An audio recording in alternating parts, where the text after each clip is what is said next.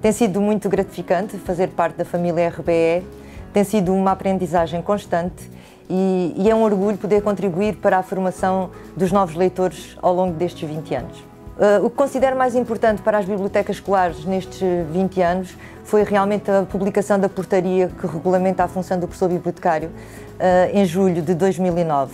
Foi um avanço muito importante para a rede de bibliotecas escolares e na altura foi motivo para festejarmos. Algo que me marcou durante o meu trabalho enquanto coordenador Interconcelia foi sem dúvida a realização com êxito do nosso primeiro encontro de bibliotecas do Alentejo, Ler e Formar Leitores no século XXI, que este ano já, esteve, já está na, na sua quarta edição.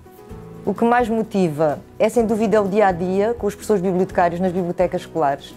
Caminho para o futuro.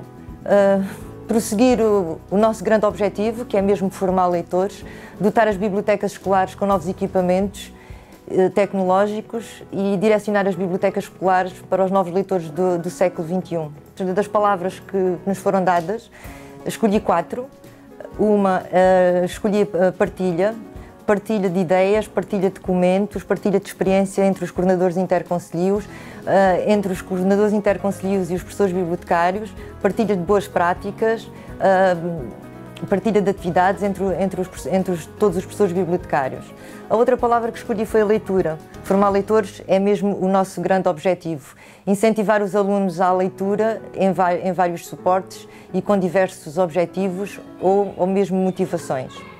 A outra palavra que escolhi é o acesso. Acesso à informação nos portos tradicionais e nos inovadores.